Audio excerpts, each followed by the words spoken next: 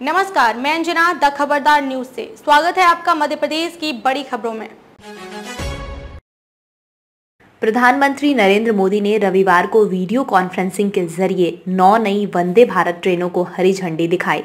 इन ट्रेनों से राजस्थान, मध्य प्रदेश, छत्तीसगढ़, तेलंगाना, आंध्र प्रदेश, कर्नाटक, बिहार, पश्चिम बंगाल, केरल और उड़ीसा राज्यों के यात्रियों को फ़ायदा होगा। राहुल गांधी का दावा, कांग्रेस, तेलंगाना, एमपी, छत्तीसगढ़ में जीतेगी। भाजपा पर ध्यान भटकाने का आरोप। नागपुर में बारिश पर ब्रेक, बाढ़ से चार की मौत। बिहार झारखंड में बिजली गिरने से छह की जान गई।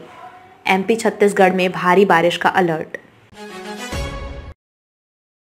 अमेरिका ने निज्जर की हत्या पर खुफिया जानकारी दी थी। इन्वेस्टिगेशन में मदद भी की। कनाडा ने इंडियन डिप्लोमेट्स की कम्युनिकेशन डिटेल से सबूत जुटाए।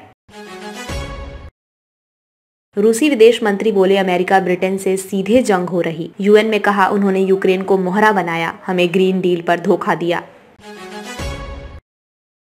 इंदौर में आज आमने सामने इंडिया ऑस्ट्रेलिया टीम। दूसरा वनडे होलकर स्टेडियम में।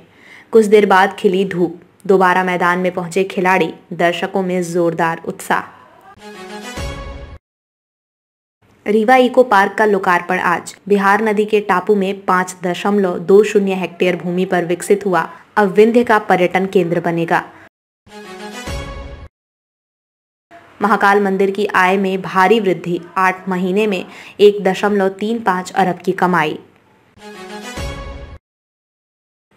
पीएम मोदी कल आएँगे भोपाल। कई स्कूलों में छुट्टी। रूट डाइवर्जन से आने जाने में परेशानी के मद्देनजर फैसला।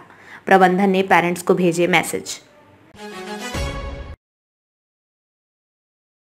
एसबीआई में मैनेजर समेत 444 पदों पर वैकेंसी। डीआरडीओ में 204, सीपीसीबी में चौहत्तर पद खाली। दसवीं पास के लिए भारतीय सेना में मौका। अब तक के लिए बस इतना ही। फिर होगी आपसे मुलाकात कुछ ऐसी ही बड़ी खबरों के साथ। तब तक के लिए नमस्कार और देखते रहिए द खबरदार न्यूज़।